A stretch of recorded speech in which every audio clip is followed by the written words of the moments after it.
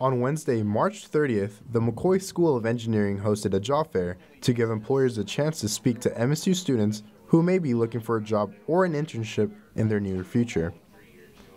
Career Management Assistant Director Stephanie Sullivan says companies all over Texas were able to make the trip to interact and talk about their unique job openings. And this one today is our Careers and Technology Job Fair, which targets engineering and computer science majors. And we reach out not only to local companies, but also companies across the state to see if they would be interested in coming and speaking with our students about not only internships, but full-time job opportunities that they have upon students' graduation.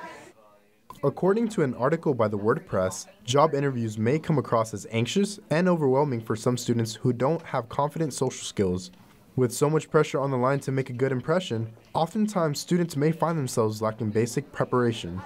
Mechanical engineering senior Trevor Snyder advises upcoming students to focus on these key components when attending a job fair. Um, from an engineering standpoint, it's a little bit more technical, so it's just sharpening up on your basics, um, like your math, your FE stuff.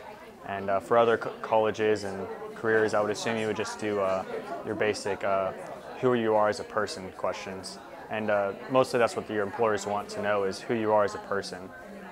11 companies signed up for the fair at McCoy in search for interns and or employees to bring value to their corporations. Engineering consultant at Blue Cross Blue Shield, Amy Amon says students who come to job fairs should also be asking employers important questions to show high interest in their company. So job fairs are really fun. Think of it like a science fair. That's kind of the way I always think about it. And go in with a really open mind. You are there to interview the company just as much as they are there to do a soft interview of you.